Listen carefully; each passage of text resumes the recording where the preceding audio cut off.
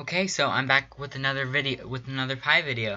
Um, this time I'm on Raspberry Pi OS, and I'm gonna talk about something really interesting. So, from my one of my USB boot videos from a while ago, like two months or something, um, I just got this comment 49 minutes ago, and he says um, they've added an option to Raspberry Pi um, config, and um, so now now you can just do USB so easy. It's great. You don't have to do any commands. You can um, enable USB boot on your Pi with one click of the button. So I'm going to show you how to do that and how great it is.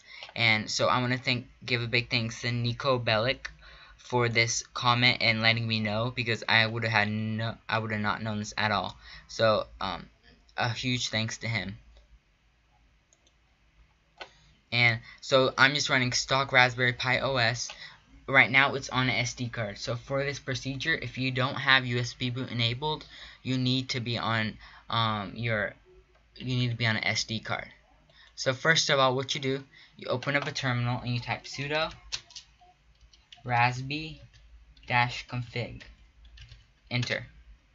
And then what you're gonna do is you're gonna go down to boot options, enter, and you're gonna go to boot ROM version, and you hit that, and you click use the latest version boot ROM software. So now what this is going to do, it's going to install the latest EEPROM for us. And it's going to enable USB boot. So it's used to we had to do all these commands and it was kind of mixed up and people will get uh, people had problems and stuff. With this way there shouldn't be any problems. So all you do is you're going to hit enter here and it says it's going to do a reboot and you're going to say okay that's fine and it's already it does that that that fast.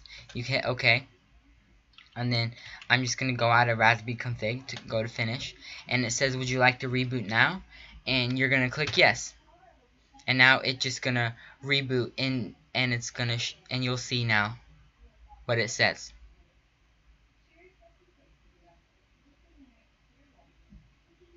So now, now it says July 31st. And as I showed before, it has said May 15. So it really did update our EEPROM. And now I have the latest EEPROM on my all of my Pis. So that's great. And so it's so easy to do USB boot now. I mean, it's amazing.